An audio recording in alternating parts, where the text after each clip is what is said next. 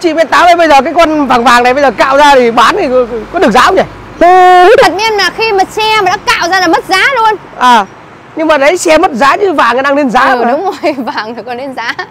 Vàng giống kiểu mình đang đeo cái cái, cái nhẫn cái lắc gì đó Mình, mình cắt cho mình bán dần. Bán dần. À, Được. nhưng mà em em- này nó là cái thương hiệu gì chị nhỉ Ở đây mỗi xe Honda em này biểu tượng Honda. Honda Ở Honda Civic, Honda CRV, Honda Accord Đấy đấy đấy kiểu à như thế. con này là Accord Ờ à? Honda Accord à, Accord con này là Accord. 2000 là mấy hả chị? Con này 207 em ạ. 207 à? Chị cho em xem cái nội thất của chiếc xe này Không nghĩ là 207 đâu, nó đẹp lắm. Nội thất Ừ. ra theo xe luôn. Ôi nội thất ờ, cùng với ờ, tông ờ, màu sơn luôn à? Cùng với màu luôn giống kiểu tông xẹt tông. Đẹp nhỉ mà em thấy bảo là cái dòng ờ, Honda của Nhật Bản này nó lành lắm luôn Nó nành, thực ra nó không tiết kiệm nhưng nó nành. Nó À, thế- cực kỳ rất nành luôn. Ủa thế con này ờ, máy bao nhiêu mà không tiết kiệm? Máy con này nó 2.5 2.4 2.5 à?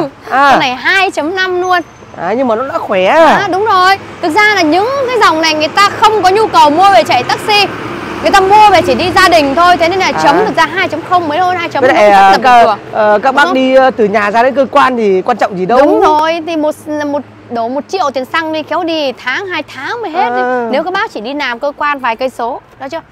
Đây, Nội thất ra theo xe form dáng vẫn rất đẹp từ 207 đến bây giờ số tự động. Giá thì lại vô cùng hợp lý, nó có 275 triệu. Giá chưa đến 300 luôn. Chưa tới 300 luôn. À, 275 triệu.